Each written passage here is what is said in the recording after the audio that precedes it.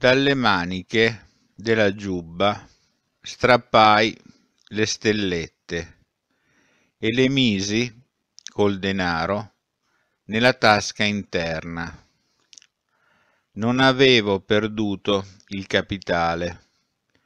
Era bagnato, ma c'era ancora.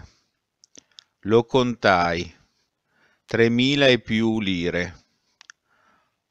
Ogni cosa che tenevo addosso era attaccaticcia e mi battevo colpi sulle braccia per stimolare la circolazione.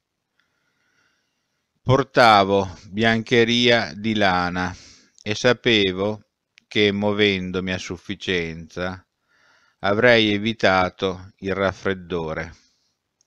La rivoltella me l'avevano presa i carabinieri. Nascosi la fondina sotto la giubba. Non avevo cappotto e faceva freddo sotto la pioggia. Mi incamminai lungo il canale. Adesso era chiaro e la campagna si stendeva malinconica, umida e piatta campi erano spogli. Si scorgeva un campanile lontano nella pianura. Arrivai a una strada dove passavano dei soldati. Mi tenni discosto, fingendo di zoppicare, e nessuno mi badò. Era un distaccamento di mitraglieri diretto verso il fiume.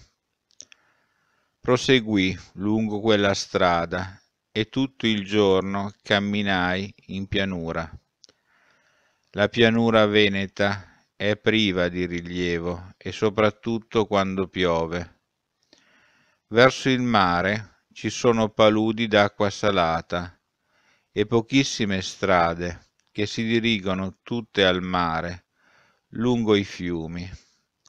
Per attraversare la campagna si deve prendere i sentieri lungo i canali.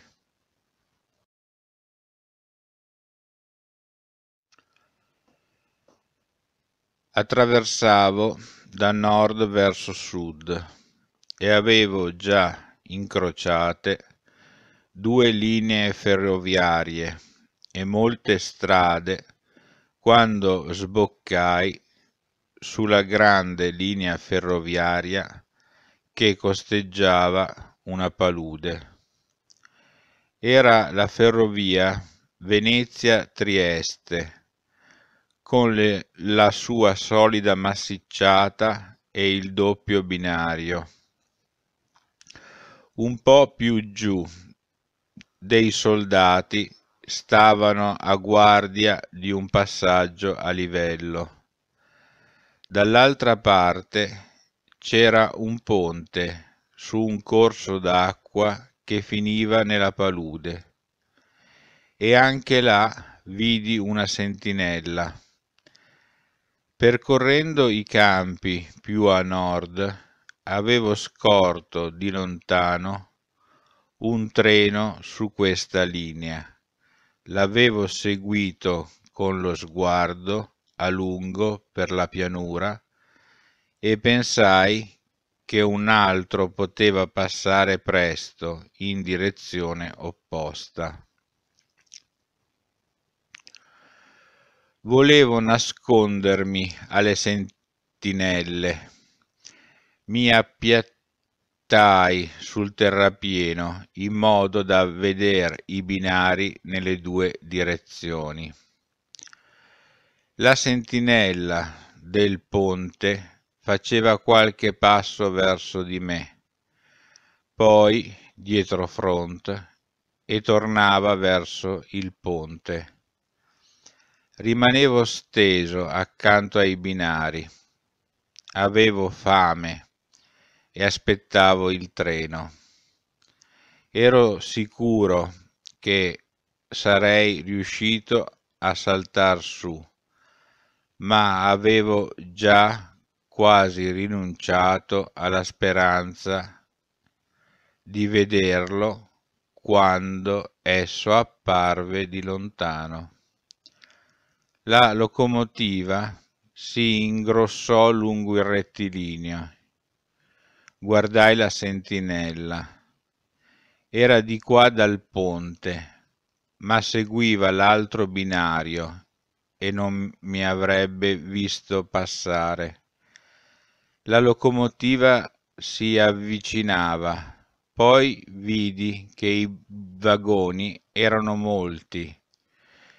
Sapevo che anche il treno doveva aver, sentinelle e cercavo di distinguerle, ma era difficile senza lasciarsi vedere. La locomotiva arrivò alla mia altezza. L'ebbi davanti a me, arrancante e sbuffante. La lasciai passare e poi mi alzai. Feci qualche passo accanto ai vagoni in corsa. In piedi potevo dare minor sospetto. Passarono molti carri chiusi poi veniva uno di quei vagoni bassi e aperti che chiamano gondole. Era coperto da un tendone. Restai fermo finché non fu alla mia altezza. Saltai e afferrando le sbarre posteriori mi tirai su. Mi accovacciai tra il carro gondola e quello che seguiva. Non mi pareva che potessero avermi visto.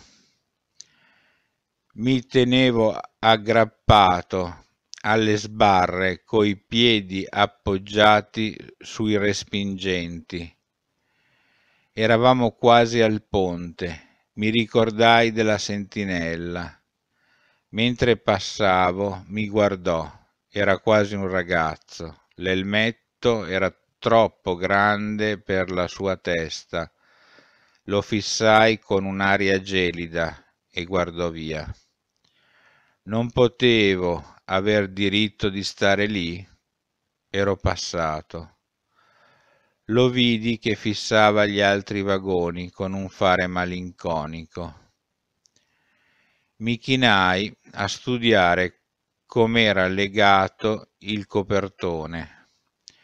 Aveva degli anelli ed era allacciato in basso, al bordo.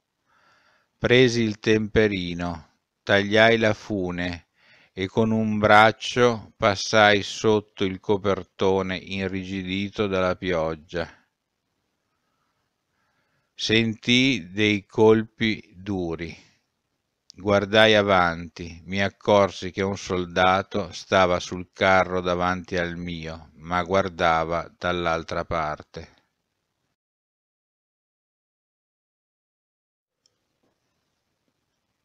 Lasciai le maniglie e strisciai sotto il copertone.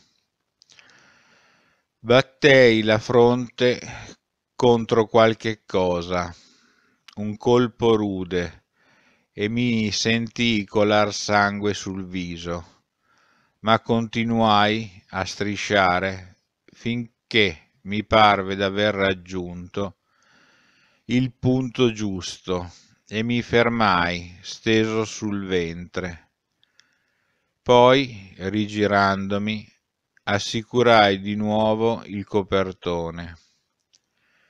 Viaggiavo con dei cannoni e mandavano un piacevole odore d'olio e di grasso.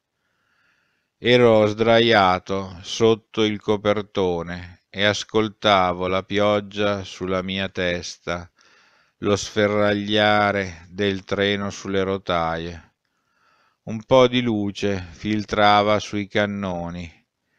Vedevo le cuffie impermeabili dovevano appartenere alla terza armata. Mi si era gonfiata la fronte e arrestai il sangue con lo starmene fermo, lasciando coagulare. Poi scrostai il sangue secco fin intorno alla ferita. Una cosa da poco.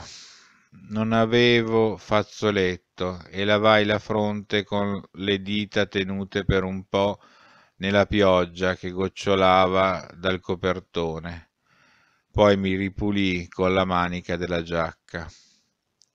Non volevo avere un'aria troppo sospetta.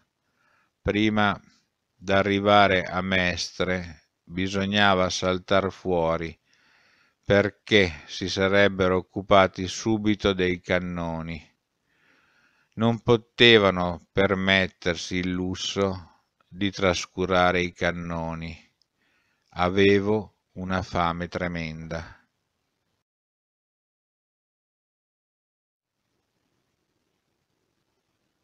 Mi toccò fare una grossa esperienza dell'umidità, del freddo e dei morsi della fame, sdraiato sotto il copertone. Quando non ne potei più, mi girai mettendomi steso sullo stomaco, la testa appoggiata alle braccia il ginocchio mi si era irrigidito, ma potevo essere fiero del mio ginocchio. Valentini aveva lavorato da maestro. Avevo fatto metà della ritirata a piedi e un bel tratto del tagliamento. Quel ginocchio, però, apparteneva adesso a Valentini. Soltanto l'altro restava mio. I dottori riescono a farti cose che poi il tuo corpo finisce col non essere tuo. La testa era mia e anche gli intestini erano miei, erano vuoti. Li sentivo torcersi dalla fame. La testa era mia, ma non potevo servirmene per pensare, solo per ricordare, ricordare un poco.